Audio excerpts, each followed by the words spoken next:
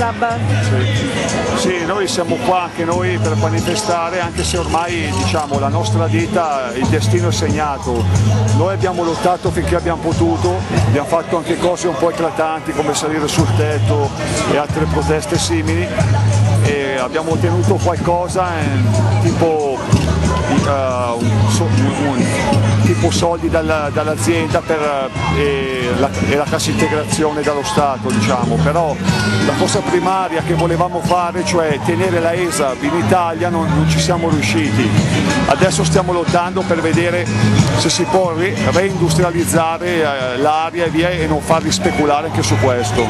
Cioè. Quante persone sono interessate? Noi eravamo, cioè, siamo in 140 alla ESAP e 78 siamo stati messi in, in mobilità, quasi la metà, però anche gli altri che sono quasi tutti impiegati non si sa bene il loro destino perché adesso prendono degli uffici in affitto e poi non si sa quanto tempo vanno avanti, siccome hanno portato tutto, cioè già c'erano ditte nei paesi dell'est, adesso hanno preso anche in Bulgaria e ormai sta andando tutto di là insomma. Ma voi eravate un'azienda in crisi, nel senso che non c'erano no, commesse? Cioè noi siamo, cioè, siamo, una ditta che abbiamo fatto qualche settimana di cassa l'anno scorso, ma roba di 3 o 4 settimane, roba da poco.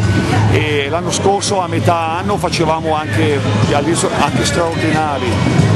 Secondo noi hanno approfittato diciamo, gli inglesi proprietari di questa crisi per uh, chiudere definitivamente un, un, posto che avevano già in mente di chiudere perché vogliono fare più profitti, cioè ormai si sta spostando tutto all'est e quando di là magari si alzeranno un po' le rivendicazioni via già stanno, hanno aperto anche in Cina e penso che cioè, ci stiamo impoverendo tutti, da una zona ci spostiamo all'altra dove la manodopera costa meno. Sono dell'Electrolux. Lo stabilimento di Solaro nella fattispecie. La nostra azienda è nella Brianza, è la tra virgolette più fortunata perché nel 2009 non siamo stati interessati ancora fortunatamente dalla cassa integrazione, anche se eh, c'è da dire che a livello eh, locale sono stati tagliati tutti i contratti a termine, quindi circa 75 persone in meno dall'inizio dell'anno e si è aperta una procedura di mobilità per 30 persone per sfoltire un po' il, il personale, incentivandolo in qualche maniera all'esodo o alla pensione. Insomma. Nello stabilimento di Solaro siamo circa 1200 dipendenti tra operai e impiegati e facciamo parte di un gruppo che è una multinazionale svedese che in Italia ha altri stabilimenti dove in totale fino a qualche anno fa si contavano almeno 6.500-7.000 dipendenti grosso modo, ma che sono stati sfoltiti comunque sia nell'arco degli anni.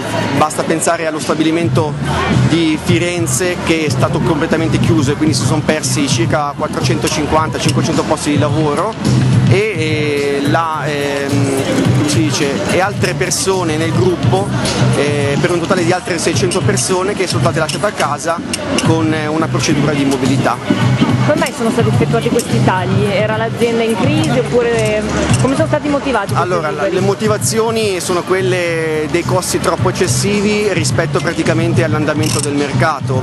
Ora, eh, quello che c'è sotto è comunque sia la volontà di eh, fare profitti eh, sempre maggiori a danno comunque sia dell'occupazione perché poi eh, ad esempio i tagli che sono stati interessati, quelli di cui ti parlavo, siglati presso il Ministero della Salute e del Lavoro, in realtà poi praticamente hanno fatto aumentare i cicli di lavoro per quelli che sono rimasti, quindi hanno comunque garantito all'azienda lo stesso introiti. E i posti di lavoro, molti posti di lavoro si sono spostati poi negli stabilimenti che sono presenti eh, negli stabilimenti eh, insomma, che sono presenti, adesso non mi viene in mente i posti, comunque nell'est europeo, piuttosto che vabbè, in Cina non ci sono però in Polonia, est europeo eccetera.